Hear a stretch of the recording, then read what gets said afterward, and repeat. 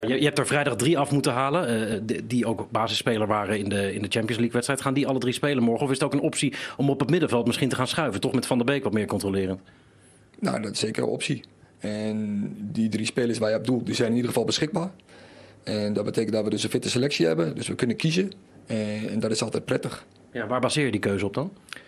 Nou, je kijkt inderdaad, eh, waar kunnen we beter? En dat kun je ook inderdaad doen uh, in het personeel. Hè? Met iets andere kwaliteit neerzetten. Zou kunnen, zou een overweging kunnen zijn. Ja, hij zegt dus eigenlijk niks. Het zou kunnen, Wim. Ja, gaat hij doen? je, nee, Nee, zeg het maar. Je wordt ja, er moe maar van. hij- Nee, maar je vult het voor me in. Hij zegt inderdaad niks. Nee. Ik bedoel, herhaalt gewoon de vraag. Ja, daar komt het Ja. op neer.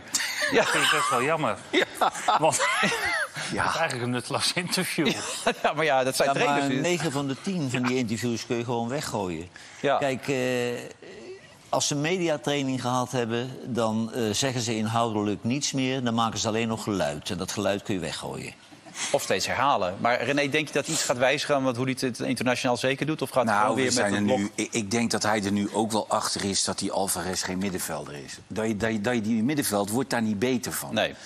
Dus volgens mij gaat hij toch morgen proberen met eh, Van der Beek en, eh, en Martinez. Maar hij dacht, en... dat begrijp ik wel, met die Alvarez, dacht hij... dan heb ik meer stabiliteit en Ja. meer verdedigend vermogen. Ja, ja. Maar Alves laat zich meeslepen, Alves, ja. die, gaat, die gaat meevoetballen. En dat moet hij juist niet doen. Nee. Die moet juist de, de, de opkomende mensen afstoppen. Maar in zijn euforie van, hé, hey, wat gaat het leuk, gaat hij meevoetballen. Ja, dat nou, is- dat moet je als centrale verdediger nooit doen, Ja, maar hij voegt in principe net zoveel toe als die Mexicaan bij PSV. Ja. Gewoon Ja. balletjes geven Ja. waar iedereen op de tribune van zegt van nou, die had ik Ja. ook kunnen geven. En het stokt, weet je, de, Ja. de omschakeling. Ja. Heel snel in. Nee, maar goed de. Mexicanen kunnen er niet zoveel van als ik jullie hoor zo. Nee, maar kijk, het is natuurlijk een ontzettend verschil. Frenkie de Jong een jaar eerder of Alvarez. Ja. Ja. Weet je wel?